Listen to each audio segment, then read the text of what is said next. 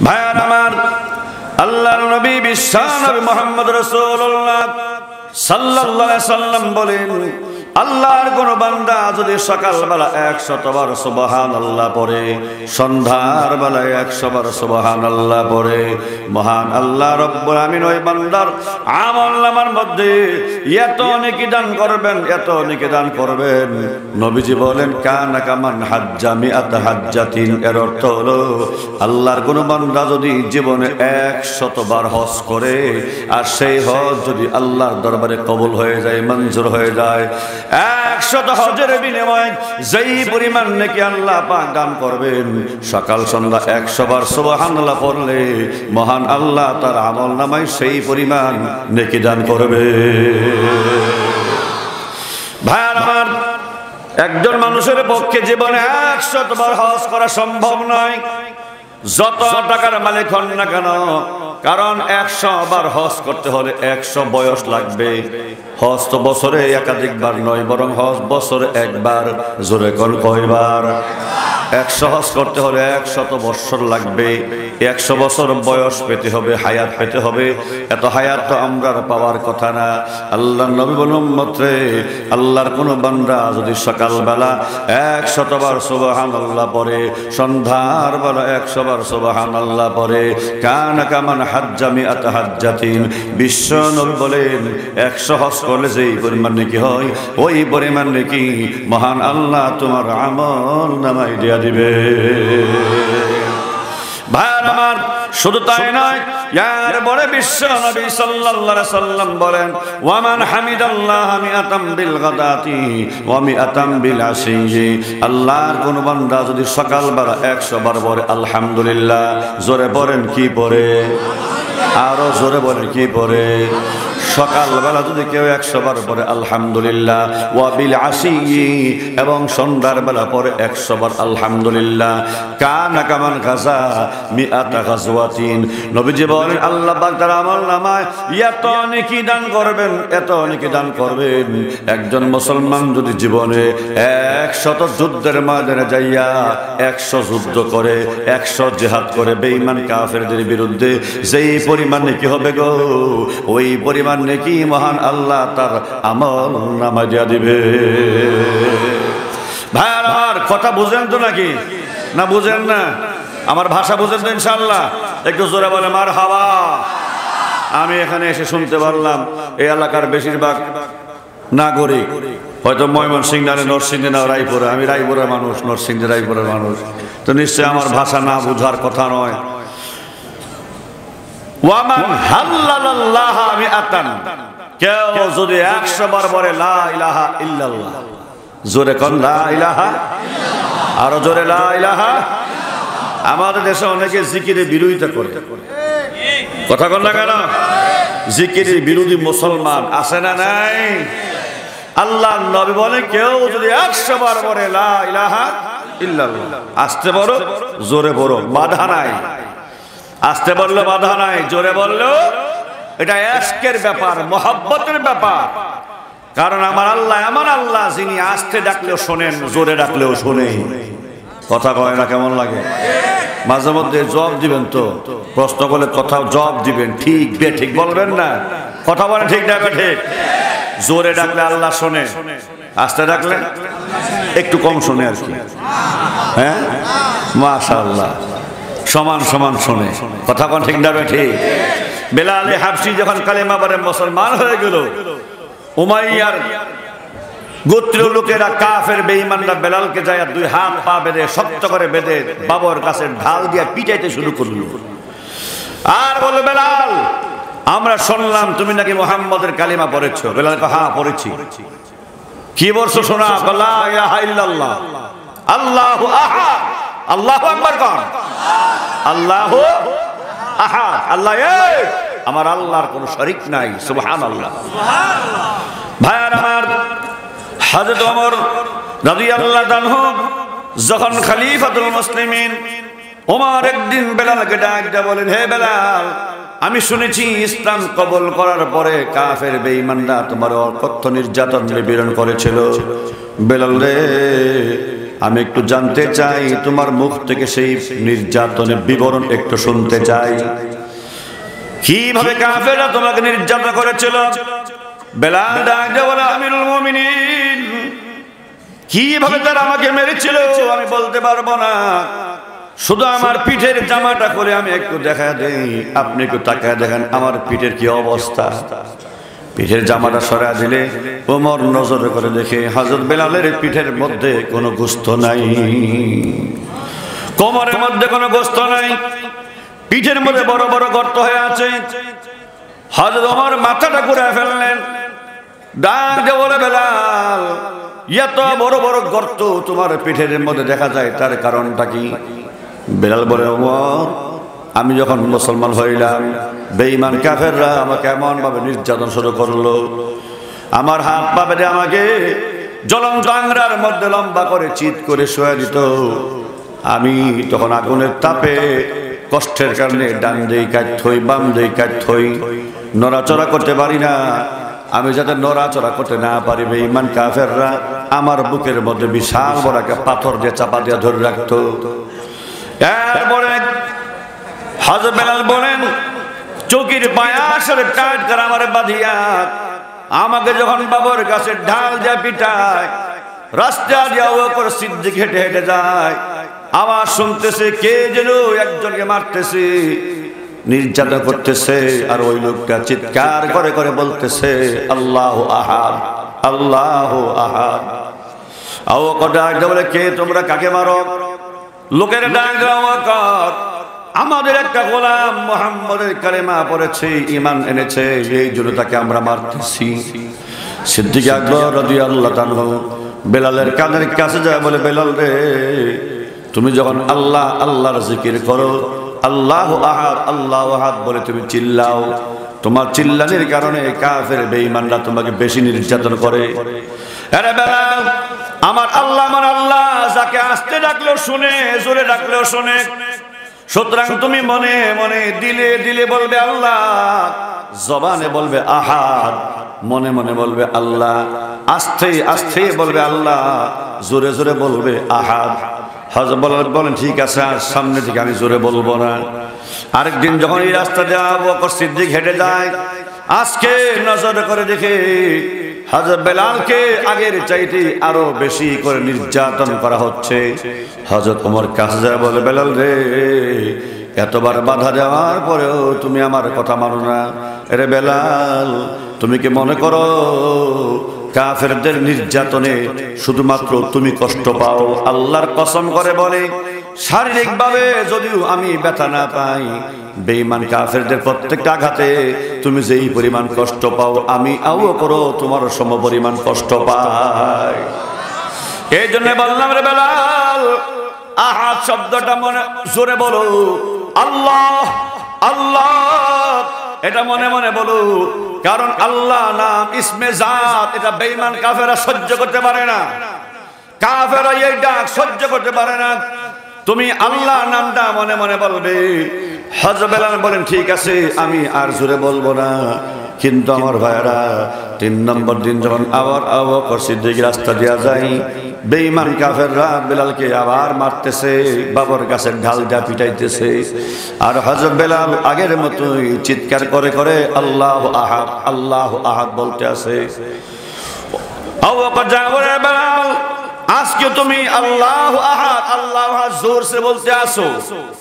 তোমাকে বাধা দেওয়ার পরে আমার কথা কেন মানো না? বেলাল ডাক দে বলেন, ও বকর, আল্লাহর কসম করে বলি, বেঈমান কাফের মুশরিকরা যখন আমাকে আঘাতের পর আঘাত করে রে বকর আমি খুব মারাত্মক কষ্ট পাই, মারাত্মক ব্যথা পাই। মনে হয় যেন আমার প্রাণটা আমার দেহ থেকে বের হয়ে যাবে। কিন্তু আল্লাহর কসম করে বলি, কাফেরদের মাইরে আমি যেই পরিমাণ কষ্ট পাই, আমি আমার মহান আল্লাহ পাকের জিকিরে এর চাইতেও কোটি কোটি গুণ বেশি মজা পাই। এজন্য মুসলমানদের দিলের মজা আল্লাহর জিকির। কথা কয় না। আরও জোরে এখন কথা ঠিকটা ব্যাঠে সরকার দানম প্রিয় নবী, সাল্লাল্লাহু আলাইহি সাল্লাম বলেন, ওয়ামান হাল্লাল্লাহ মিআতাম বিল গাদাতি ওয়া মিআতাম বিল আশিয়্যি আল্লাহর কোন বান্দা যদি সকালবেলা 100 বার পড়ে, লা ইলাহা ইল্লাল্লাহ, লা ইলাহা ইল্লাল্লাহ, লা ইলাহা ইল্লাল্লাহ। ভাইয়ার আমার নবীজি বলেন 100 গোলাম আজাদ করার মূল্য আল্লাহর রাস্তায় দান করলে সেই পরিমাণ নাকি হবে ওই পরিমাণ নাকি মহান আল্লাহ তার আমল নামা দান করে দিবে। ভাইয়ার আমার ইয়ার পরে নবীজি বলেন, ওয়ামান কাব্বারাল্লাহ মিআতাম বিল গাদাতি ওয়া মিআতাম বিল আশিয়্যি আল্লাহর কোন বান্দা যদি কাব্বার আল্লাহ যদি বলে আল্লাহ আকবার, যদি বলে আল্লাহ আকবার, আপনারা সবাই জোরে বলেন আল্লাহ আকবার, আরও জোরে জোরে আল্লাহ আকবার। আল্লাহর কোন বান্দা যদি বলে আল্লাহ আকবার মিআতান বিল গাদাতি সকালবেলা একশো বার আল্লাহ আকবার আল্লাহ আকবার পরে সন্ধ্যার বেলা একশো বার আল্লাহ আকবার আল্লাহ আকবার পরে। আল্লাহ নবী বলেন, মহান আল্লাহ পাক তার আমল নামায়, এত অনেকই দান করবেন, এত অনেকে দান করবেন। ওই দিন সারা পৃথিবীতে ইমানদার বান্দা, বান্দিরা, যে যত বেশি নেক আমল করেছে, আল্লাহ পাক তার আমল নামায় সকলের সমপরিমাণ নেকি দান করবেন। অর্থাৎ সবচেয়ে বেশি নেকি আল্লাহ তার আমল নামায় দেওয়া দিবে সবার চেয়ে বেশি নেক যে করছে আল্লাহ, তার সমান নেকি দান করবেন। জোরে বলে সোহান আল্লাহ ভাইয়ার আমার, এবার আসুন। জিকির করি, কোরআন পড়ি, হাদিস পড়ি, তেলাওয়াত করি, দান করি, হজ করি, সৎকা করি, উদ্দেশ্য কি জান্নাতে যাওয়া? কথা কয়। আপনারা সবাই আমার প্রশ্নের জবাব দিবেন। জোরে আওয়াজ দিয়ে বলেন, জান্নাতেই আমরা যাইতে চাই কি চাই না? এত আসতে বলেন কেন? অনেকে কয় না, কারণ আশা নাই, সারাদিন বিড়ি খাই তো। এই জন্য জান্নাতের আশা করতে পারে না। কি যেন আল্লাহ দেয় না না দেয়। তা আপনি চাইতে বলেন আমরা সবাই জান্নাতে যাইতে চাই কি চাই না? আল্লাহ তুমি আমাদের কবুল করো, জোরে কোন আমি সবাই বলেন, জান্নাতে যাইতে? কার সাথে? কার সাথে? কথা বলেন নবীজির সাথে। জোরে বলে কার সাথে? নবীজির সাথে। সরকার আলম বিশ্ব নবী আলাইহি সাল্লাম মসজিদে নবীর মধ্যে সাহাবাই কেরামের সামনে বয়ান করতেছেন। বয়ান করতে করতে করতে করতে দুপুর বেলা হয়ে গেল। দুপুর বেলা এমন একটা টাইম এমন একটা সময় যেই সময়ের মধ্যে সবার পেটের মধ্যে খিদা লাগে। কথা বলেন ঠিক না বেঠে? নবীজি নিজেও ক্ষুধার্ত, সাহাবাই কিরামও ক্ষুধার্ত। আল্লাহর হাবিব সাল্লাম বললেন, আমার সাহাবিরা, আমিও ক্ষুধার্ত, তোমরাও ক্ষুধার্ত, সুতরাং এখন সবাই যার যার বাসা, বাড়িতে চলে যাও। খাওয়া দাওয়া করে আসরের নামাজের সময় আবার সকলে তোমরা মসজিদ নবীতে চলে আসবে। সমস্ত সাহাবাই কেরাম যে যার মতো, যার যার বাড়িতে চলে যায়। আল্লাহ, নবী, বিশ্ব নবী তিনিও তার হুজরার মধ্যে চলে গেলেন। হুজরায় যাইয়া মা আয়েশাকে বলে, আয়েশা, ঘরে কি খাবার আছে? আম্মা আয়েশা বলে, ইয়া রাসূলুল্লাহ, আমার ঘরে আমি আয়েশার ঘরে এই মুহূর্তে সাদা পানি ছাড়া আর কিচ্ছু নেই। আপনারা ঘুমায় গেছেন নাকি? আমার ঘরে পানি ছাড়া কিছু নাই। এই কথা বলে মা আয়েশা কেঁদে ফেললেন।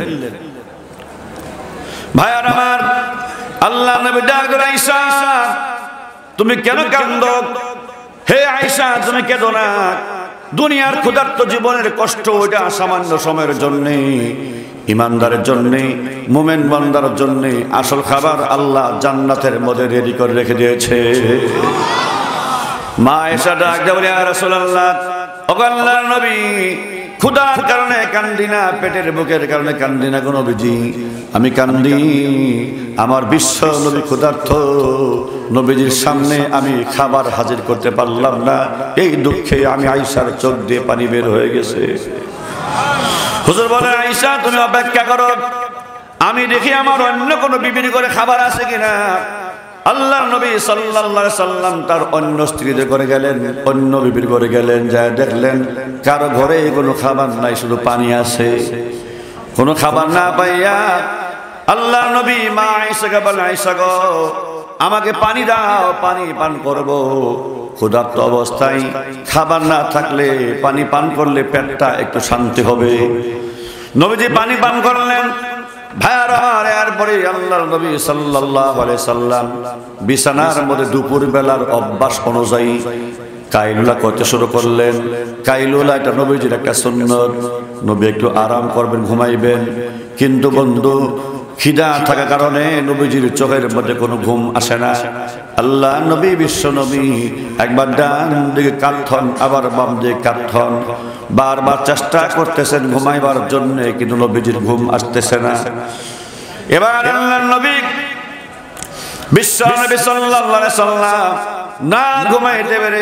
না থেকে বের হয়ে গেলেন। উদ্দেশ্য তিনি মধ্যে চলে হুজরা থেকে বের হওয়ার পরে আল্লাহ দেখেন, বহু দূর থেকে দুইজন সাহাবি নবীজির দিকে আসতেছে। নবীজি মনে মনে ভাবেন আহারে, এই মাত্র আমার সাহাবিরা এখান থেকে বিদায় হইল। দুপুরের বেলা খাওয়া দাওয়া করার জন্যে আমি নবী নিজেও খাই নাই, ঘরে খাবার নাই, আমার সাহাবিদের ঘরেও মনো খাবার নাই।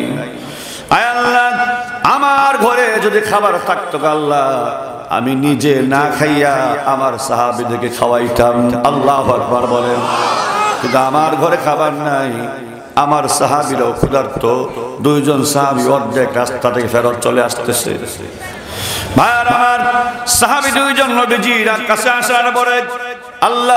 জিজ্ঞাসা হে সাহাবিরা, তোমরা কি খাওয়া শেষ খাওয়া দাওয়া সাহাবি বলেন, ইয়া রাসূল আল্লাহ আল্লাহ নবী গো, আমরা খাব তো দূরের কথা, আমরা বাড়িতে যাই নাই, অর্ধেক রাস্তা থেকে আমরা ফেরত চলে এসেছি। রসুল তোমরা কেন বাড়ি যাও নাই? আমি তো তোমাদেরকে খাবারের জন্য সময় দিয়েছিলাম। অর্ধেক রাস্তা গিয়ে আবার কেন ফেরত চলে এসেছ? ঘুমাইতেছেন নাকি? কথা বুঝতেছেন? তোমরা বাড়িতে কেন যাও নাই? সাহাবি ডাক দেখে রাসূলুল্লাহ আমরা যখন রাস্তা দিয়ে যাচ্ছিলাম, আমরা দুই ভাই, প্রতিবেশী দুই ভাই রাস্তা দিয়ে যাচ্ছি বাড়ির দিকে। হঠাৎ করে আমাদের একটা কথা মনে হয়ে গেছে, একটা মাস আলা মনে হয়ে গেছে। ওই মাস আলাটা জানার জন্য খাবার বাদ দিয়া অর্ধেক রাস্তা থেকে আপনার কাছে রিটার্ন ব্যাক করেছি। আরও আসতে সুবাহান আল্লাহ বলে অর্ধেক রাস্তা থেকে ফেরত চলেছি মাসলা জানার জন্যে। নবীজি বললেন একটা মাসলা জানার জন্য তোমরা অর্ধেক রাস্তা ফেরত চলে আসছো। ইচ্ছা করলে তো এই মাসালাটা আসরের নামাজের সময় যখন তোমরা মসজিদে আসতে, তখনই আমার কাছ থেকে জানতে পারতে। কথা বলে না কেন? আসরক তো আবার আইবা না। আসরক তো আইব না আবার। না জোর শেষ। আসরক তো আসলেই মসজিদ অভিতে তখনই মাস্টার জানতে পারতে। খাওয়া দশ কাজ ছাইরাইটা সাহাবি এমন একটা আজীব জবাব দিয়েছেন। দেখে বলে আর রাসূলুল্লাহ, আসর পর্যন্ত হায়াত পাবো কি পাবো না? এই গ্যারান্টি তো নাই। যদি আসর আগে মারা যায়, তাহলে তো মাসলাটা না জেনে মরে গেলাম।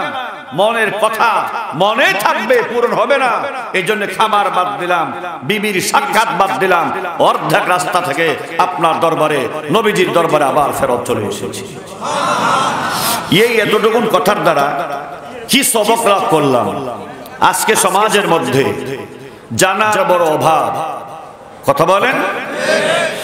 কেউ আছে, কিচ্ছু জানে না। ভাব সব এমন দেখায়, সব জানে। কিন্তু আলহামদুলিল্লাহ জানে না। আপনারা মাইন্ড করবেন না, আমার কথায় কষ্ট পাবেন না। একটা মাহফিলের মধ্যে এক হাজার লোক যদি হয়, ওয়াজ মাহফিলের মধ্যে বিশেষ করে, এক হাজার লোকের সুরায় ফাতেহার ইন্টারভিউ নিলে নয় জন টিকবে না। খারাপ বললাম নাকি? নয়শো টিকবে না। সুরায় ফাতেহার দশ জনের মধ্যে নয় জনের সুরায় ফাতেহার মধ্যে গলত রয়ে গেছে, লেহেনে জলি পড়তেছে। কথা বলেন ঠিক না বেঠে অত যদি বলি, ভাই, সোরা কারা ঠিক করেন। এখন জবাব দে, হুজুর, এখন আর সুরা কারা ঠিক করার টাইম নাই। কোনো সুযোগ নাই। বল, না ভাই, একটু চেষ্টা করেন। হুজুর, কোথায় চেষ্টা করব? আমার এখন চুল দাড়ি সাদা হয়ে গেছে, এখন তো মাদ্রাসা আমাকে ভর্তি করবে না। বলে, আরে ভাই, তুমি যে বাহানা দিবা, এই জন্যই তো আল্লাহ তালা তোমার তুমি যাতে বাহানা দিতে না পারো, আল্লাহ রাব্বুল আমিন উপযোগী একটা ব্যবস্থা, যার নাম হলো দাওয়াত তাবলীগ। এই তাবলীগের ব্যবস্থা আল্লাহ চালু করে দিয়েছেন। কথা বলেন ঠিক যাবে ঠিক। তুমি তো মাদ্রাসায় ভর্তি হতে পারবা না। এই বাহানা তুমি খুদার দরবারে দিবা। এই জন্য আল্লাহ তালা আল্লাহর রহমত স্বরূপ এই উম্মতের জন্য খাস রহমত, তবলিগের মেহনত আল্লাহ চালু করে দিয়েছেন। কথা বলে ঠিক যাবে ঠিক তবলিগে তিনটা দিন সময় লাগাও, একটা চিল্লা দাও, তোমার সুরা ঠিক হয়ে যাবে। হুজুর, নিয়ত আছে। সামনে। কথা কয় না। কখন? সামনে। সামনে কবে? এই সামনে তার আর জীবনে ফিরে আসবে না। আপনারা যেন অবাক হবেন, আমাদের রায়পুরার আমার সমকালীন নয়, আমার চেয়ে বয়সে আরও দশ থেকে পনেরো বছর ছোট হবে। তিরিশ বছরের যুবক, টকবকে যুবক আলেন বহুত বড় বক্তা সে। সিলেটের সুনামগঞ্জে ওয়াজ করে, ঢাকার বাসায় ফিরতেছে, নরসিংদীর গান পারে সে। সকালবেলা এমন অ্যাক্সিডেন্ট বক্তা জাগায় শেষ। শেষ হয়ে গেছে। অথচ তার ছেলেরা অপেক্ষা করতেছে, তার সন্তানগুলো অপেক্ষা করতেছে, আব্বু আসতেছে, আমাদের জন্য মজার খাবার নিয়ে আসবে, কথা বলে ঠিক না বেঠে? তুমি তোমার আমল আজকে সুন্দর করো না। দিন শিখার জন্য চেষ্টা করো না, আর মনে মনে বলো, ভবিষ্যতে যাব, ভবিষ্যতে শিখব। যুবক রে আমার একটা প্রশ্নের জবাব দাও। ও যুবক, একটু ভালো করে চিন্তা করে জবাব দাও। তোমার গ্রামের মহল্লার কবরস্থানের মধ্যে তোমার বয়সের যুবক আছে না না আরও জোরে করে, আছে না নাই? ভাই এজন্য বোঝা গেল, সময় নাই সময় নাই। ও মুসলমান, তোমার সময় নাই। যেদিন আমার হায়াতের দৌড় শেষ হয়ে যাবে, আমার মৃত্যু হয়ে যাবে। ভাইয়ার আমার আমার এই সাড়ে তিন হাত দেহ, সাড়ে তিন হাত বড়ি, এটাকে বলা হয়, আমার নাম মুখতার হোসেন রায়পুরি। আমি একদিন মরে যাব, আমার লাশটা পরে থাকবে, আমার প্রাণ বের হয়ে যাবে। তখন আমার এই দেহের নাম আর রায়পুরি হুজুর থাকবে না। আমার এই দেহের নাম হয়ে যাবে রায়পুরীর লাশ। জোরে করুন এজন্য বোঝা গেল আমি একদিন থাকব না, আপনিও থাকবেন না। যেই কোনো মুহূর্তে আমার আপনাকে চলে যেতে হবে, অন্ধকার কবরের বাসিন্দা হয়ে যেতে হবে। চলে যাওয়ার পরে দেখবেন দুনিয়াতে আপন বলতে কেউ নাই। যেই ছেলেমেয়ের জন্য এত মেহনত, এত পরিশ্রম করলাম, যাদের জন্য মাথার গাম পায়ে ফেললাম, শরীরের লাল রক্ত পানি করলাম, ওই সন্তান আমার কবরের সঙ্গী হবে না, আমার স্ত্রী আমার কবরের সঙ্গী হবে না। আমার কবরের মধ্যে আমাকে একা একা যেতে হবে, কথা বলেন ঠিক না বেঠি, আমার লাশের খবর বন্ধু, আসবে একদিন জানি। আসবে তোমরা ফেলবে শুধু দুই নয়নের পানি। পারলে আমার সাথে গুনগুন করে একটু বলেন, আমার লাশের খবর বন্ধু, আসবে একদিন জানি, আসবে তোমরা ফেলবে শুধু দুই নয়নের পানি, আসবে তোমরা ফেলবে শুধু দুই নয়নের পানি, এই দরাতে রয়েছি বন্ধু তোমাদেরই ভিড়ে।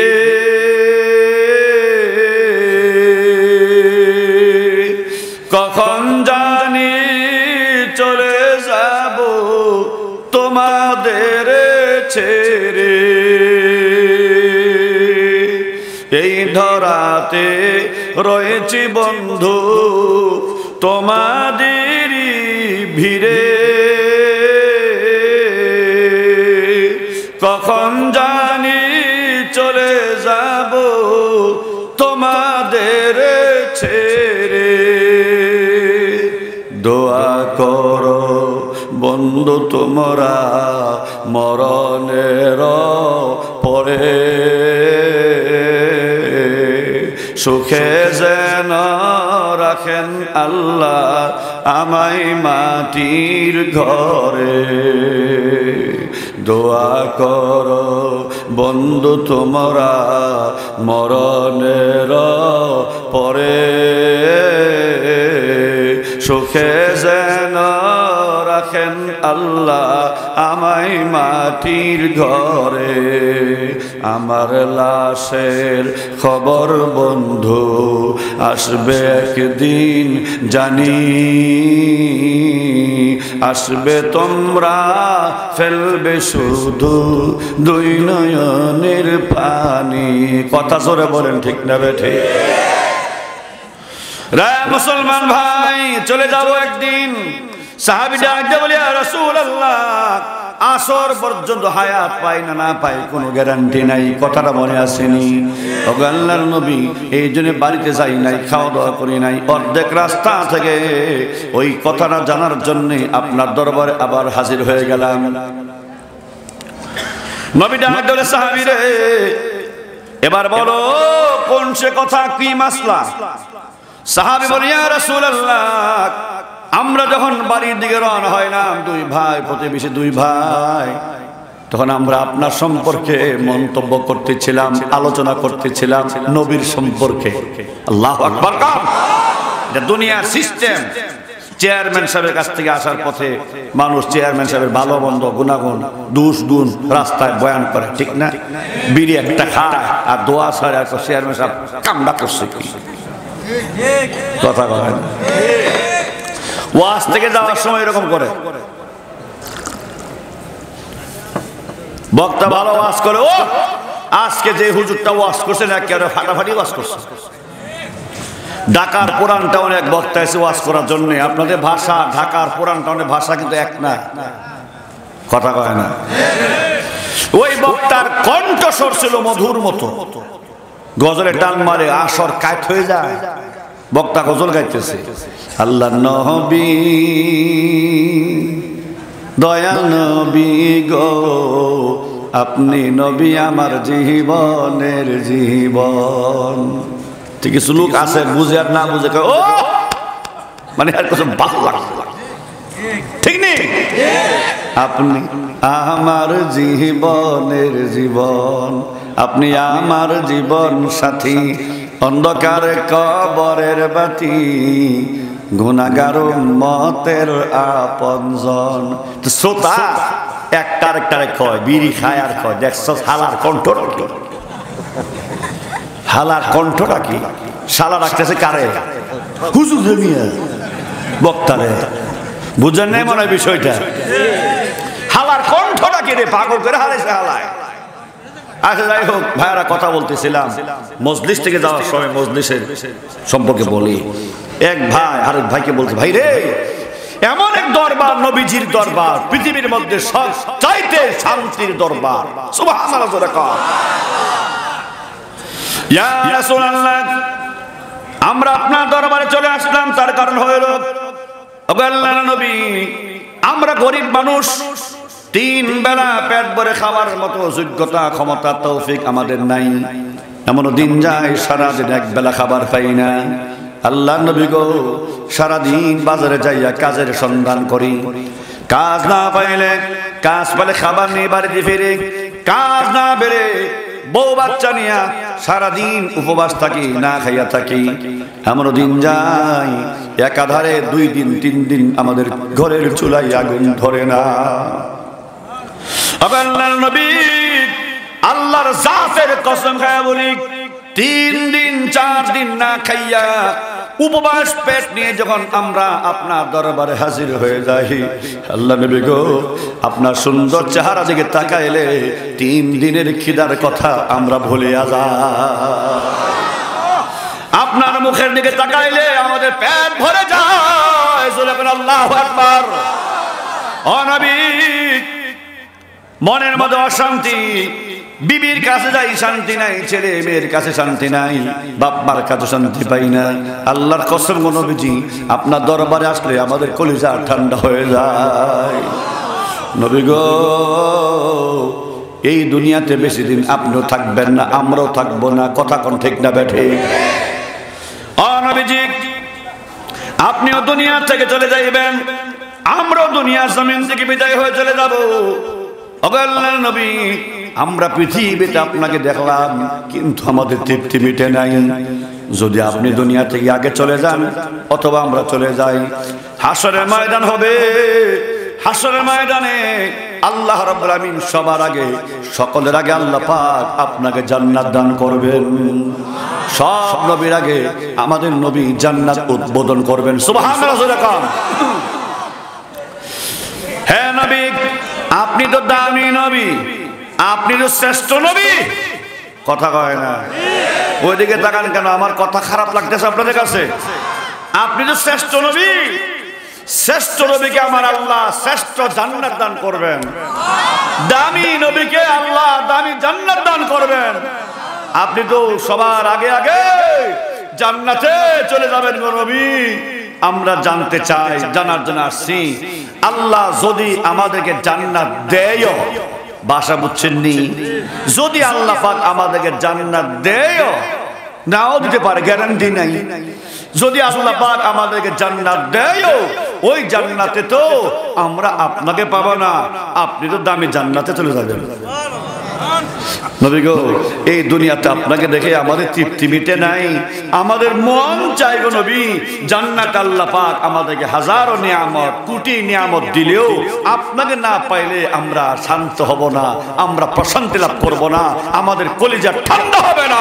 আল্লাহ আকবার নবীজির প্রতি কি মোহাব্বত আর ভালোবাসার বহিষ্প্রকাশ সাহাবাই কেরামের জবান দিয়ে ফুটে উঠেছে? ও নবী, আমরা জান্নাতেও আপনাকে পেতে চাই, আপনাকে দেখতে চাই। আমরা দেখতে চাই কি চাই না? আপনারা দেখতে চান কি চান না? সাহাবি কয়া রাসূলুল্লাহ, এটা জানবার জন্য আমরা খাওয়া দাওয়া বাদ দিয়া রাস্তা থেকে ফেরত এসেছি কথা বোঝেন নাই? হ্যাঁ। রসুল চুপ হয়ে গেছে নবী চুপ হয়ে গেছেন। চুপ হয়ে যাওয়ার কারণ হলো, তাৎক্ষণিকভাবে এই প্রশ্নের জবাব নবীজের কাছে ছিল না। কি জবাবটা দিবেন? আমরা অনেক সময় বানায় জবাব দিয়ে দিই। না জানলে আন্তাজিটা করে দিই হয় এমনি করে দিই। না! রসুল সাল্লাহ আল্লাহর হুকুম ছাড়া, আল্লাহর আদেশ ছাড়া কোনো কথা বলেন না। ওহি ছাড়া নবী কথা বলেন না, মা ইয়ানতিকু আনিল হাওয়া, ইন হুয়া ইল্লা ওয়াহয়ু ইউহা। সুবহান রাসূলের কথা নবী চুপ হয়ে গেছেন। কিছুক্ষণ পরে হযরত জিব্রাইল ফেরেশতা আমার তিলাওয়াতকৃত আয়াত, যে আয়াত আমি আজকে আপনাদের সামনে তিলাওয়াত করেছি, এই আয়াত নিয়ে হযরত জিব্রাইল নবীজির দরবারে হাজির হয়ে গেলেন। ভাইয়ার আমার, আল্লাহ রাব্বুল আমিন জানান দেন জিব্রাইল আমার নবীর কাছে আয়াত নিয়ে যাও। আমার নবী কি সাহাবিরা প্রশ্ন করেছে জবাব দেওয়ার জন্য। নবী জবাব দিচ্ছেন না। যা বলে দাও, আমার নবী যেন বলে দেন, তার উম্মতকে বলে দেন, ও আমার সাহাবিরা রে, ও আমার উম্মতেরা রে, অবশ্যই অবশ্যই আল্লাহ রব্বুল আমিন জান্নাতের ভিতরে বিশ্ব নবীর সাথে তোমাদেরকে জান্নাত দান করবে। নবীর সাথে জান্নাত দান করবেন। সুবহানাল্লাহ, জোরে বলেন। আমাদেরকে আমাদেরকে আল্লাহ পাক নবীজির সাথে জান্নাত দান করবেন। এই ওয়াদা করছেন কে? আরও জোরে আওয়াজ দেবেন এই ওয়াদা কে করেছে? এখন আল্লাহ বলেন, তবে শর্ত আছে দুইটা। কথা কয় না। শর্ত আছে কয়টা? দুই শর্ত যারা পূরণ করবে, তারা জান্নাতে আপনার সাথে থাকবে, আপনার সঙ্গী হয়ে যাবে যেটা বলেন, সুবহান। শর্ত কয়টা? দুইটা। আল্লাহ বলেন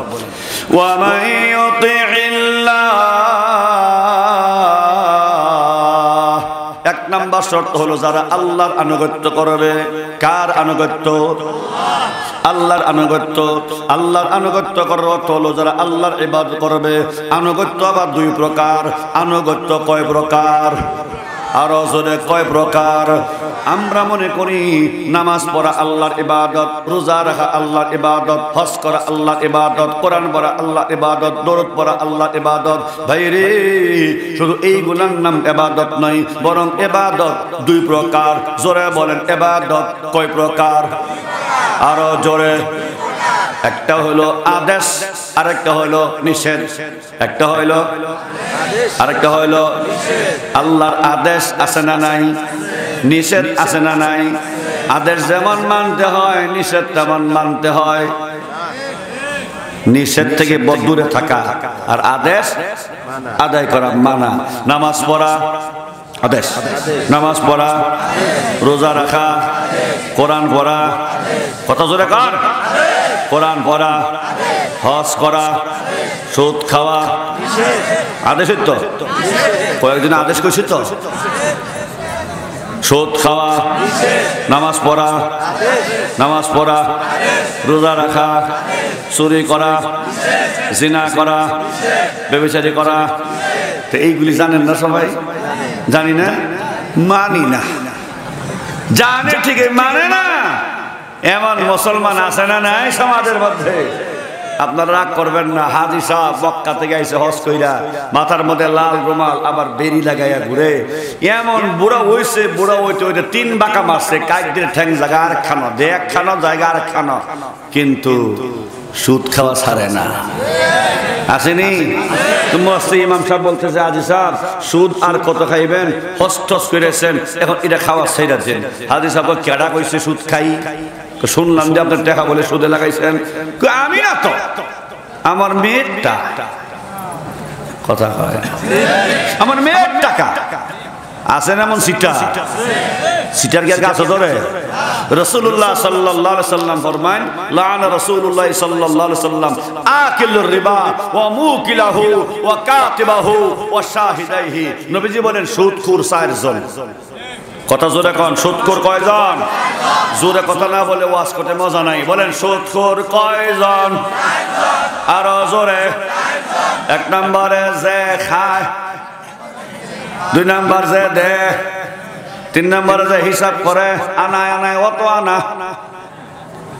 ঠিক নেই আর চার নম্বরে যে সাক্ষী হয়, সুপারিশ করে। ওই যে আদি সাহেব কইছে যে আমার মেয়েটা ঠিক মতো কিস্তিটা দিয়া যায় লাভটা মাসে মাসে চালাইও, সপ্তাহ সাথে লাভ দিয়া দিও, যে আমার মেয়ের এটা আমি লাগাইলাম, আমি খাই না, আমার মেয়ে খায়, এর অর্থ তুমিও খাও। কথা কোন ঠিক না ঠিক বলেন এবার সুদ খোর কয়জন? এক নম্বর যে খা, দুই নম্বর যে দেয় তিন নম্বর লেখে হিসাব করে, চার নম্বর যে সুপারিশ করে, সাক্ষী হয়। আল্লাহ রসুল বলেন, এই চারজন সুৎখর এদের উপরে আল্লাহ এবং রসুলের সুদের মধ্যে সত্তরটা গুণা এর মধ্যে ছোট্ট গুণা হইল আপন মায়ের সাথে জেনা করা। তোমার হজে কি হবে? কথা না কেন? তোমার হজে কি হবে? আপনাদের এলাকায় আছে। দুধ রাখেন কোথায়? বালতির মধ্যে। কোথায় রাখেন? আর কাছে ডুলা। ডুলা বুঝেননি? হ্যাঁ? হ্যাঁ? ওই যে ডুলা, আমাদের রায়পুরা বাসায় ডুলা। আপনারা কি জানি কোন? ওই যে বাঁশের বেদ দিয়ে বানায়। এটা কি কর হ্যাঁ? খালো দুধ খালি রাখা যায়নি। থাকব? থাকতো না। তো নেক আমল, কিছু লোক রাখে বালতির মধ্যে, আবার কিছু রাখে খালুর মধ্যে। খালুর মধ্যে যারা নেক রাখে, হাসরের গিয়ে দেখবে, জিরো। নাই, নামাজ নাই, রোজা নাই, হজ নাই জাকাত নাই সৎকা নাই। গেছে কই? খালুদ পড়ছে। কথা কয় আর আসলে এখন ঠিক না ঠিক। আসরে নামাজ পড়িয়া মসজিদ থেকে বের হইল। বের হইয়া এরপরে চেয়ারের মধ্যে বইসা, ওই এক সুদা যারা যারা দেখে এক কাপ চা খায় আর সিনেমার দশটা গান দেখে।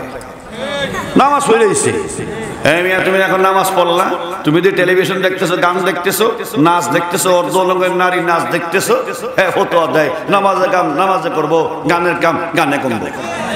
কথা কয় না। জোরে এমন সিটার আছে না না আল্লাহ রসুল বলেন, এই জাতীয় গুণা যারা করবে, কবিরা গুণা করবে ন্যাক আমল করবে, হাসরের ময়দানে তাদের ন্যাক আমল জিরু। মধ্যে রাখছে কথা কন ঠিক আওয়াজ বলে যুবকরা কথা কয়ে লাভ নাই। যুবক ভাইরা যারা তোমাদের কাছে জানতে চাই আল্লাহর ওলি হতে মনে চাই কি চাই না? আরে ভাই, কি কমো? অনেক মাহফিলের মধ্যে আখির মুন্নাজাতের সিরিয়াল যখন পরে আল্লাহ দোয়া করে, আল্লাহ, তুমি আমাদেরকে তোমার ওলি বানায় দাও। একটা আমিন কয় না। যা কয়, দু একজন আলিমুল আমা কয়, মুরব্বীরা কয়, জোয়ান দিয়ে কয় না। আবার যে দোয়ার মধ্যে একই মাহবিলে দোয়া করে, আল্লাহ, আমরা তুমি কোটি কোটি টাকা সম্পত্তির মালিক বানায় দাও। সব দি, এমন জোরে আমিন আমিন আমিন আল্লাহ আমিন। একটা বিড়ি খাইতেছে, হে আমিন কইতাছে। কথা জোরে কয়, ঠিক না দেখে দোয়ার পরে জিগেলাম কিরে, দোয়ার মধ্যে দোয়া করলাম। আল্লাহ, তুমি আমাদেরকে তোমার অলি বানায় দাও। তুই যে আমিন কইছস না? হ্যাঁ হুজুর, আমিন যে কইছি না অলি হওয়ার মধ্যে বেজাল আছে। কি আছে? বেজাল আছে। বলি, ওলি ওই চলে এক নম্বরের দাঁড়িয়ে যখন যেত না। কি কয়? দাঁড়িয়ে রাখতে হইব। অলি হইতে হইলে দাঁড়িয়ে রাখতে হইব। এরপরে বিড়ি খাওয়া থাকতে হইব। এরপরে হালাল পথে চলতে হইব। নামাজ পা শক্ত পড়তে হইব। তাহাজ্জুদ পড়তে হইব। হুজুর, এই বয়সে এত ঝামেলা করার সুযোগ নাই, এর লাগে আমি কইছি না। ওলি হওয়া ফরস বলেন, ওলি হওয়া, আরও জোরে, ওলি হওয়া ফরস পাঁচ ওয়াক্ত নামাজ যদি আমরা ঠিক মতো পড়ি, আল্লাহ পাক আমাদেরকে আল্লাহর ওলি বানিয়ে দিবেন। বছর থেকে নিষিদ্ধ কাজ করা যাবে। এবার বলেন, এবাদত কয় প্রকার? দুই প্রকার। এবাদত, দুই প্রকার। একটা হলো আদেশ, আরেকটা হলো নিষেধ। আদেশ মানা যেমন এবাদত, নিষেধ মানো এবাদত। সুবহানাল্লাহ। ভাইয়ার আমার, আরেকটু সহজ করে বোঝায় সুন্দরী যুবতী, নারীর প্রতি সবার মন মনের মধ্যে কম বেশি আকর্ষণ আছে না নাই? যুবক রে। তোমার সামনে দিয়া লাবণ্যময়ী, সুন্দরী, সুরসী যুবতী রাস্তা হেঁটে যাচ্ছে। তোমার মধ্যে যৌবন আছে। এর যুবক আল্লাহ বলে দিয়েছেন কুল্লিল মুমিনিনা ইয়াগুদ্দু মিন আবসারিহিম ওয়া ইয়াহফাযু ফুরুজাহুম। আল্লাহ পাক বলে দিয়েছেন, হে নবী, আপনি আপনার আপনি আপনার আমার মোমেন বান্দা দেখে বলে দিন পুরুষ দেখে বলে দিন, তারা যেন ভিন্ন নারী থেকে নিজের চক্ষুকে নিচের দিকে নামায়। এ অবস্থার মধ্যে যুবক তুমি সুন্দরী নারীর দিকে তাকিয়ে থাকতে তোমার মন চায়, তাকায় থাকতে মন চায়, কথা বলতে মন চায়। এই জন্যে আল্লাহর নিষেধের কথা স্মরণ করে, তুমি যদি তোমার চক্ষু নিচের দিকে নামাও, তার দিকে নজর না করো, দৃষ্টি না করো, সাথে সাথে মহান আল্লাহ তোমার আমল নামায় জাহাজ করার এবাদতের সাবধান করবে। এইভাবে করে তোমার গাজা খাওয়া নিশা হইছে গাজা খাওয়া মদ পান করা হালাল না হারাম। যুবক আল্লাহর ভয়ে তুমি মদ পান করো নাই আল্লাহর ভয়ে তুমি জোয়ার আড্ডায় যাও নাই গাজার আড্ডার মধ্যে যাও নাই। আল্লাহ পাক তোমার আমল নামায় এবাদতের সব দান করবেন সুরে বলেন সুবহানাল্লাহ। আদেশ মানা যেমন ইবাদত, নিষেধ মানাটাও আল্লাহ পাকের ইবাদত। কথা বলেন ঠিক না বেঠে? আল্লাহ গো, আপনি বলে দিন, তারা যদি আপনার সাথে যেতে চায়, যেতে পারবে। আমি আল্লাহ আপনার সাথে আপনার জান্নাত দান করব। শর্ত হলো দুইটা, এর মধ্যে এক শর্ত, আমি আল্লাহ পাকের আনুগত্য করতে হবে। দুই নাম্বার শর্ত ওর রসুল, রসুলের আনুগত্য করতে হবে, জোরে বলেন সুবাহান রসুলের আনুগত্য কি? রসুলের আনুগত্য হলো রসুলের সুন্নাহকে অনুসরণ করা, রসুলের আদর্শকে অনুসরণ করা। কথা বলেন ঠিক না বেঠে? আমার নবীর চেহারাটা কেমন ছিল? নবীর চেহারা যেমন ছিল, আমি আমার চেহারাটাকে এমন রাখব। নবী দাঁড়িয়ে রাখতেন, আমিও রাখলাম। নবী মুস কাটতেন, আমিও কাটলাম। নবী টুপি পরতেন, আমিও টুপি পরলাম। নবী লম্বা জুব্বা পরতেন, আমিও তাই করলাম। নবী যেমনি ঘুমাইতেন, আমি এমনি ঘুমাইলাম। নবীজি যেইভাবে খাইতেন, আমি ওইভাবে খাইলাম। নবী যেইভাবে নামাজ পড়তেন, আমি ওইভাবে নামাজ পড়লাম। এরই নাম হলো নবীর আনুগত্য করা। আমার, নামাজ পড়া ইবাদত। নামাজ আল্লাহর হুকুম। নামাজ পড়ব এটা আল্লাহর হুকুম মানলাম, আল্লাহর আনুগত্য করলাম ঠিক না বেঠে? এবার আসেন নবীর আনুগত্য কি? নামাজ কেমনে পড়ব, কীভাবে পড়ব, এটা তো আল্লাহ পাক বলে দেন নাই। কে বলে দিয়েছেন? নবীজি বলে দিয়েছেন, মাগরিবের ফরজ কয় রাকাত? কথা কয় না? মাগরিবের ফরজ কয় রাকাত? আপনি যদি মনে করেন আজকে আমার গার্মেন্টস ছুটি অফিস ছুটি, সময় লম্বা, মাগরিবের ফরজ আমি চার রাখাত পড়ব নামাজ হবে নি কেন হবে না? আল্লাহ তো কোরআনের মধ্যে তিন রাকাত বলেন নাই, চার রাকাত বলেন না কিচ্ছু বলেন নাই। মাগরিবের নামাজের কথা বলেছেন। এরপর আপনি চার রাকাত পড়লেন। বেশি পড়লে সওয়াব বেশি হওয়ার কথা, কিন্তু আপনি বেশি পড়ার পরেও সওয়াব হবে দূরের কথা, নামাজ হবে না।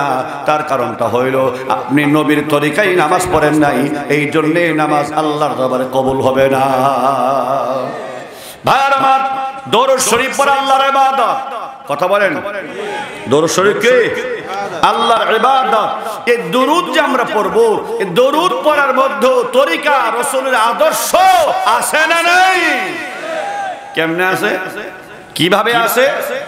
কোন কোন এলাকার মধ্যে গেলে দেখা যায় দরুদ শরীফ পড়তেছে, ছন্দের সাথে ছন্দ মিলাইয়া, তালের সাথে তাল মিলাইয়া। বলব না অসুবিধা হইতেছে? বলব? এক হুজুর, এক মৌলবী সাহেব দরুদ পড়তেছে এইভাবে, আল্লাহুম্মা সাল্লি আলা সাইয়্যিদিনা মুহাম্মদ, নাবিয়ানা শাফিয়ানা মাওলানা মুহাম্মদ, আল্লাহুম্মা? আরে মোহাম্মদ নাম তসবি জফো মোহাম্মদ নাম তসবি জফো, এই নামে হও দেওয়ানা। যে নাম বিনে রোজ হাসরে বন্ধু কাউকে পাবে না। আল্লাহ সাল্লি আল- তুই জিজ্ঞাসলাম ভাই, এই যে তাল দিয়া ছন্দের সাথে ছন্দ মিলাইয়া তুমি দুরুদ পড়তেছো, এই দুরুদ কোন কিতাবে পাইছো? সে তখন বলে, হুজুর, এটা আমি কিতাবে পাই নাই, আমাদের চট্টগ্রামের হুজুরের কাছ থেকে পাইছি। তাহলে বোঝা গেল তোমার এই দরুদের ঠিকানা মেড ইন চট্টগ্রাম। কথা কয় না মুসলমান? আবার আছে দেখি কেউ কেউ দরুদ এইভাবে পড়ে নবীর দরুদ পর দিলে দিলে হৃদয় খুলে নবীর দরুদ পর দিলে দিলে এটা দরুদ এই দরুদ ফাইলা কই কই ফরিদপুর হুজুরের কাছ থেকে তোমার এই দরুদের ঠিকানা মেড ফরিদপুর কথা বল না কেন দরুদে একটা ফজিলত বলব। এরপরে দরুদের তরিকা বলব। কষ্ট হইতেছে আপনাদের? কষ্ট হচ্ছে? ইবনে মাজার হাদিস। নবীজি বলেন, আমার কোন উম্মত যদি প্রতিদিন কম পক্ষে আমার উপরে দশ বার দরুদ পড়ে। কয়বার? আরও জোরে। কেউ কেউ তো হাজার বার পরে আমাদের বুজুর্গানে দিন তো হাজার হাজার বার দরুদ শরীফ পড়ে। ডেইলি নবী বলে কেউ যদি আমার উপরে কম পক্ষে দশ বার দর্শনে পড়ে হাসরের ময়দানে আমি নবী কোটি কোটি মানুষের ভিড়ের মধ্যে, কোটি কোটি মানুষের ভিড় যখন হয়ে যাবে হাসরের ময়দান, বাবা তার সন্তান দেখে পালাইবে, সন্তান তার বাবার দেখলে পালাইবে, মানুষ ছোটাছুটি করবে। পঙ্গপালের মতো মানুষ দৌড়াবে, পাগলের মতো হয়ে যাবে। কেউ কারও সন্তান জানবে না, কেউ কাউকে কেউ কাউকে খুঁজে বের করতে পারবে না। কোটি কোটি মানুষের ভিড়। সবাই পেরিসান সবাই পেরিসান সবাই নফসি নফসি বলে চিৎকার করবে। আল্লাহর হাবিব বলেন, আল্লাহ এত রাগান্বিত হয়ে থাকবেন। আদম আলাইসালাম থেকে শুরু করে ঈসা নবী পর্যন্ত সমস্ত নবীগণ আতঙ্কগ্রস্ত হয়ে যাবে আল্লাহর ভয়ে। কেউ আল্লাহর সামনে কথা বলার সাহস পাবে না। সমস্ত আসর বাসেরা পেরিশান হয়ে যাবে। ভাইয়ার আমার আল্লাহ এত রাগান্বিত থাকবেন। আল্লাহ নবী বিশ্বনবী বলেন, আমার আল্লাহ আমাকে এত ভালোবাসেন এত ভালোবাসেন, এত মহব্বত করেন। সেই রাগান্বিত অবস্থায় মহান আল্লাহ যখন আমি নবী রহমতুল্লিল আলমিনের চেহারা দিকে আল্লাহ যখন কুদরত নজর করবেন, সঙ্গে সঙ্গে আমার আল্লাহ পাকের সমস্ত রাগ, গুসা দূর হয়ে যাবে। ভাইয়ার আমার নবীজি বলেন, সেই হাসরে কঠিন মুসিবতের সময় কেউ কাউকে ধরা দিবে না। সেই হাসরের ময়দানে আমি নবী, আমার ওই উম্মতটাকে তালাশ করে বের করব। যেই উম্মতটা দুনিয়াতে আমার উপরে কম পক্ষে দশ বার দরশ্রী পাঠ করেছিল। আর জোরে বলেন সুবাহান আল্লাহ এই দূর পড়বেন ইনশাআল্লাহ। আরও জোরে কন। ভাইয়ের আমার এবার আসেন পড়ব? নামাজের মধ্যে আত্মাহিয়াতের উপর একটা দরুদ আছে না নাই? যেটাকে দরুদ ইব্রাহিম বলা হয়।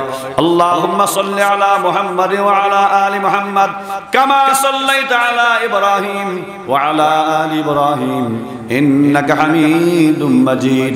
আল্লাহুম্মা محمد وعلى آل محمد كما باركت على إبراهيم وعلى آل إبراهيم إنك حميد مجيد বলে হুজুর এত লম্বা দৌড় পড়বার তো টাইম নাই আমার একটু ছোট্ট দৌড় শিখাইয়া দেন তাহলে সবাই পড়েন আমার সাথে আল্লাহ আরো আসতে পারেন আশেপাশে মেয়ে লোক আছে শুনলে সরম হবে, লজ্জা হবে। আরও আসতে পার। আল্লাহ হুম্মা সাল্লি আলা মোহাম্মদ ওয়ালা আলী মোহাম্মদ। এইটা একবার হয়ে গেল। আবার পড়েন আল্লাহ সাল্লি আলা মোহাম্মদ ওয়ালা আলী মোহাম্মদ। এই তো দুইবার হয়ে গেল।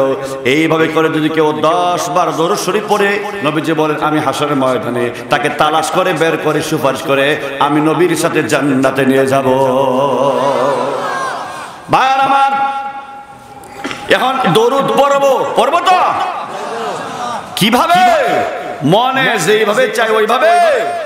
নবীর তরিকায়, নবীর আদর্শ মতে, আল্লাহ নবী বলেন আল্লাহ বলেন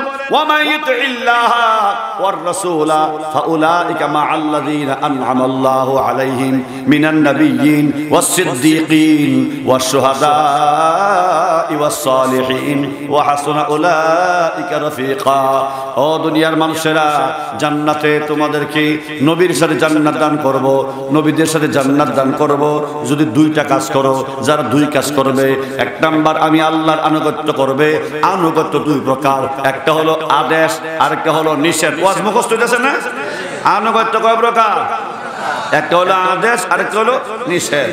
এই সিরিয়াল হলো এক। দুই কাজ মিলে একটা হইল। আল্লাহর আদেশ আল্লাহ নিষেধ। দুইটা মিলে কয়টা? একটা। দুই নাম্বার ওর রাসূল। রাসূলের আনুগত্য।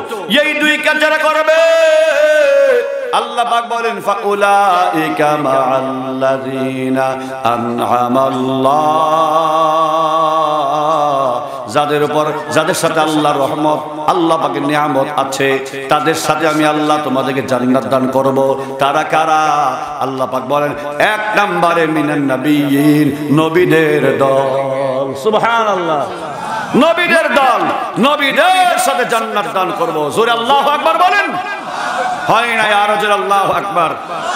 এরপর আল্লাহ বলেন ওয়া সিদ্দিকিন সাহাবাই কেরামের সাথে সিদ্দিকিনের সাথে জান্নাত দান করব।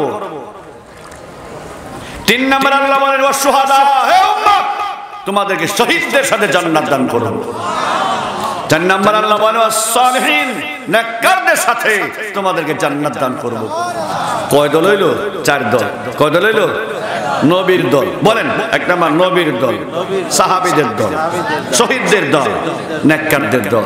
আল্লাহ বলেন ও হাসুনা উলাইকা রাফিকা। পৃথিবীর মধ্যে এরা হলো শ্রেষ্ঠতম বন্ধু। কতই না উত্তম বন্ধু। কথা কোন ঠিক না বেঠি। নবীরা হলেন শ্রেষ্ঠ। কথা জোরে বলেন, নবীরা হলেন শ্রেষ্ঠ। এর পরে হলেন সাহাবাই ক্রাম। এর পরে শহীদগণ এর পরে নেককারগণ। কথা বলেন ঠিক না বেঠি? আমার ওয়াজের শুরু থেকে, তফসিরের শুরু থেকে যে শুরু, যেখান থেকে শুরু করেছিলাম, ওখান থেকে একটা প্রশ্ন করব আপনাদেরকে। দুইজন সাহাবি রসুলের দরবারে এসেছিলেন, মনে আছে তো? খাইয়া না না খাইয়া? না খাইয়া। কি জানার জন্যে? মাস আলা কি মাস আলা হে নবী, জান্নাতে আমরা আপনার সাথে যেতে চাই। কথাটা মনে আছে তো? কার সাথে? নবীর সাথে। বলে, কার সাথে? আল্লাহ পাক এখানে বলতেছেন, নবীদের সাথে জান্নাত দান করব।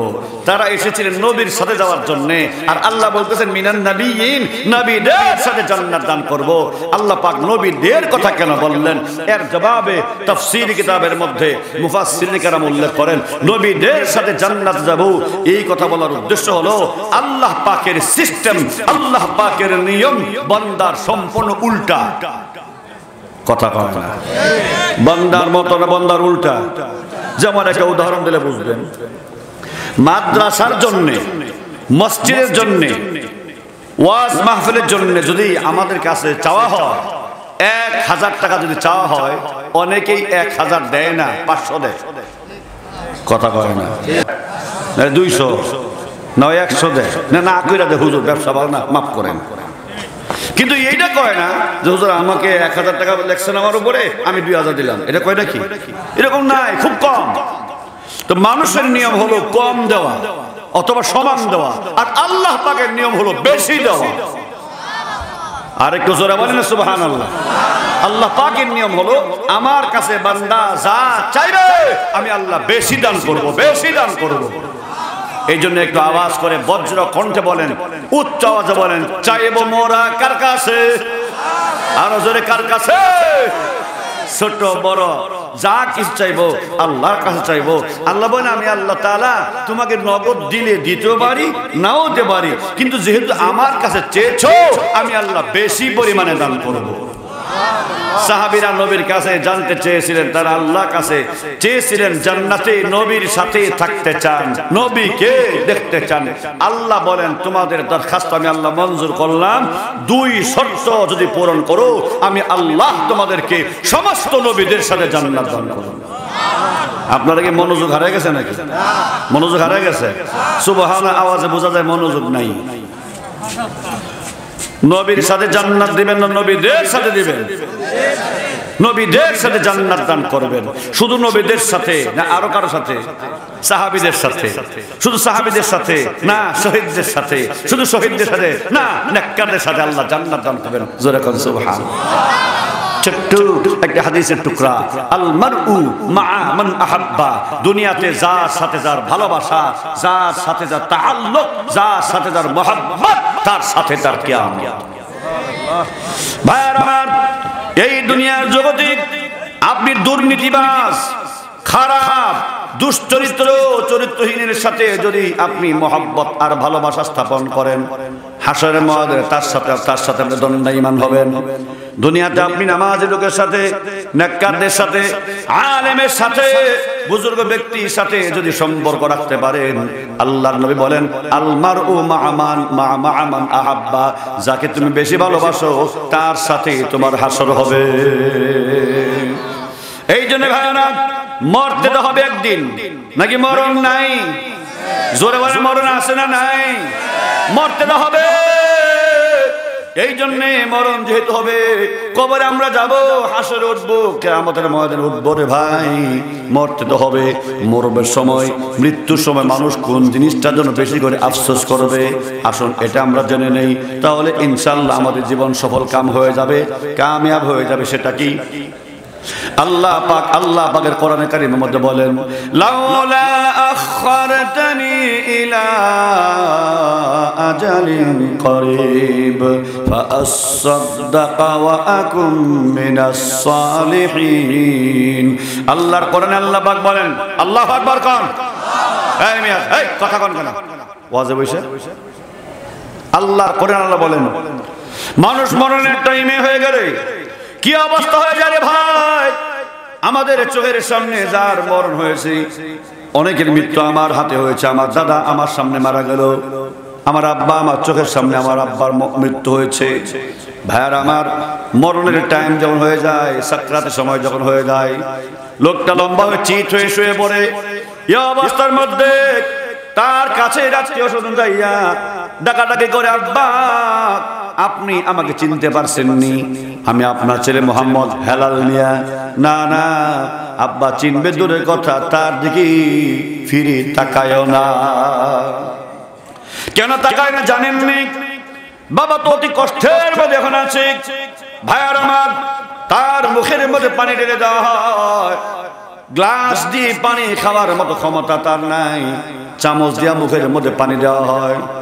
আমার ভাইয়ারা বন্ধুরা, আপনারা দেখবেন পানি দিয়া চামচ দিয়ে পানি দিল ওই পানিটা তার ভিতরে যায় না। গলার মধ্যে গেরগিরি গেরগিরি আওয়াজ হয়। কেন গেরগিরি আওয়াজ হয়? আল্লাহ পাক তার পানির পাইপলাইন বন্ধ করে দিয়েছে। নবীজি বলেন এত পিপাসিত হয়ে যাবে। সারা দুনিয়ার সমস্ত নদ নদীর পানি যদি তার মুখের মধ্যে ঢেলে দেওয়া হয়, এরপরেও তার পানির তৃষ্ণা নিবারণ হবে না। ভাইয়ার আমার একটা জীবন্ত বকরি, একটা জীবন্ত ছাগল সিলাইয়া তার গায়ে লবণ লাগা দিলে যেই পরিমাণ কষ্ট হবে, একটা মৃত ব্যক্তির এর চাইতেও বেশি পরিমাণে কষ্ট হবে। আত্মীয় স্বজন বন্ধু বান্ধব পাশে বসে চিৎকার করে আর কান্দে, আল্লাহ, আমার আব্বা মরে গেলে আমি কার আব্বা ডাকবো? ছোট ভাই কান্দে, আল্লাহ আল্লাহ আমার ভাই মরে গেলে আমি কারে ভাই ডাকবো? এইভাবে করে যত মানুষ কান্নাকাটি করক না কেন, ও ভাইয়েরা, বন্ধুরা, মৃত ব্যক্তিরা যেই পরিমাণ কষ্ট পায়, তার এই কষ্ট দুনিয়ার কেউ শেয়ার করতে পারে না। তার কষ্ট তাকে ভোগ করতে হয়।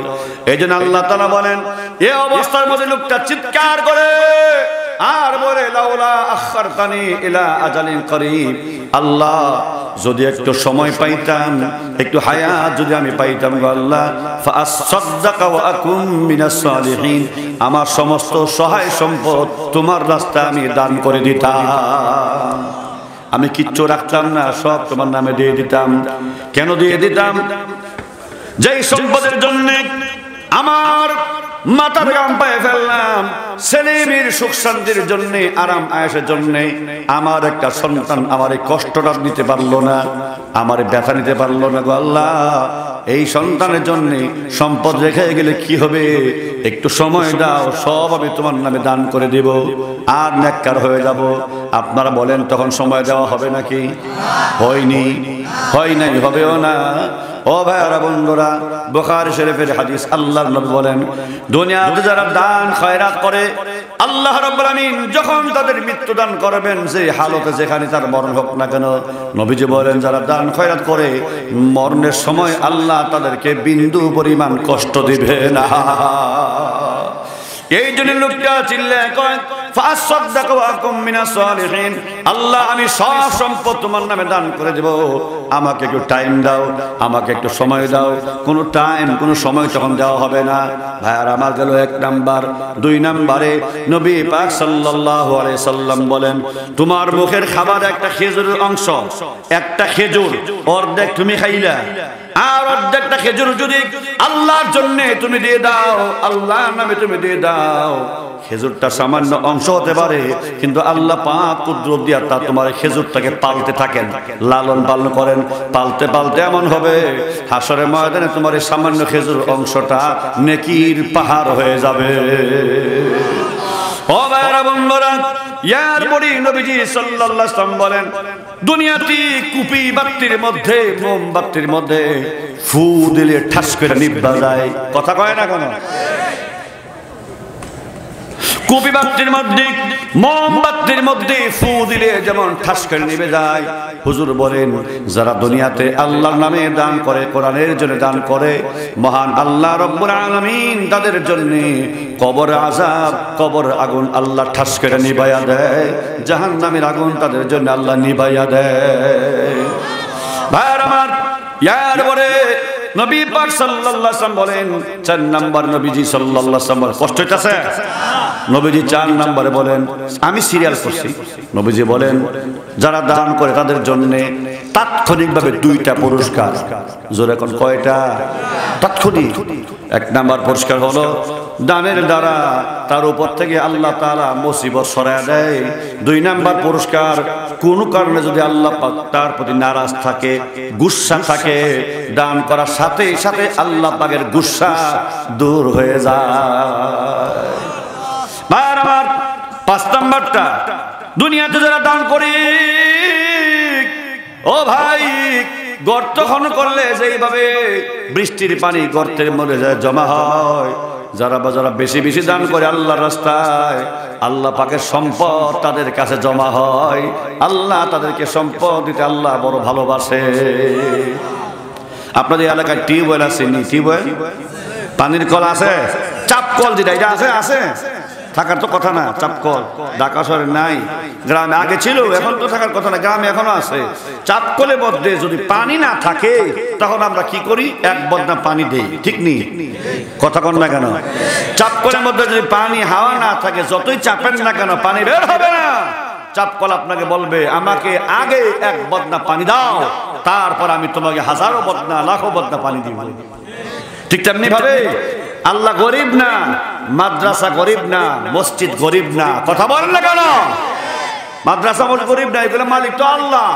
আল্লাহ বলেন, এই মাদ্রাসা গরিব না এগুলো জিম্মাদার আমি, কিন্তু তুমি যদি সম্পত্তিশালী হতে চাও, বরকত হাসিল করতে চাও, আমার দিনের মাদ্রাসার জন্য, কোরআনের জন্য, তুমি তোমার সম্পদ থেকে আমার পথে ব্যয় করো, আমি আল্লাহ তোমার সম্পদের মধ্যে বরকত দান করো আরও জোরে কোন, সুবহানাল্লাহ। এই জন্য ভাইয়ারা, আমি আপনাদের খেদমত আরজ করতে চাই। এই যে মাদ্রাসা, দিনই মাদ্রাসা কমই মাদ্রাসা কবি ঘামের টাকায় পরিচালিত। আপনাদের হালাল দ্বারা মাদ্রাসা পরিচালিত। আমি মাদ্রাসার জন্যই মাদ্রাসা বিল্ডিং